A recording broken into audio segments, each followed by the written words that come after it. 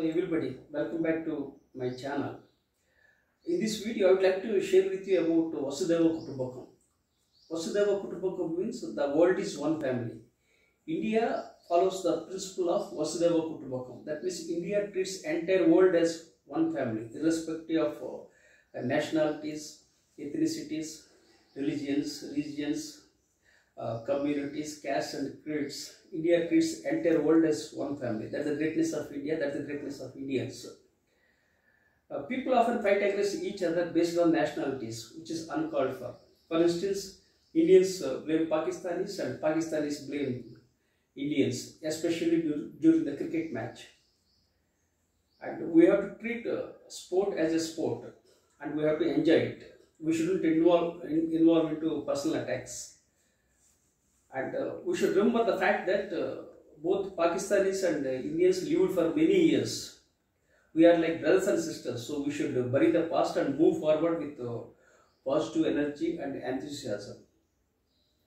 Average individuals think about the long term, average individuals think about uh, the short term, and below average individuals uh, think about the unpleasant past. So let us get smarter and wiser by looking at the similarities by looking at the commonalities and by ignoring the differences.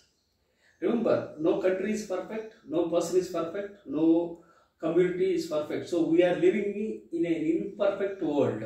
So we should understand this fact and uh, move forward carefully. The planet is one, but the nations are many. God is one. The religions are many. Milk is one, but the cows are many. Gold is one, but the ornaments are many. Water is one, but the rivers are many. The color of the blood is one, but the people have different colors. So it's very obvious that we need to look at the similarities. And all religions emphasize peace and harmony. No religion entertains, encourages, or preaches violence. So it's obvious that we have to take the positive side of each and everything to live, uh, uh, to live and uh, uh, create a better world. The takeaway from this video is we are on this planet temporarily. So let us live with fraternity and brotherhood to build a better world. I would appreciate if you could like my video, subscribe to my YouTube channel and turn on notifications.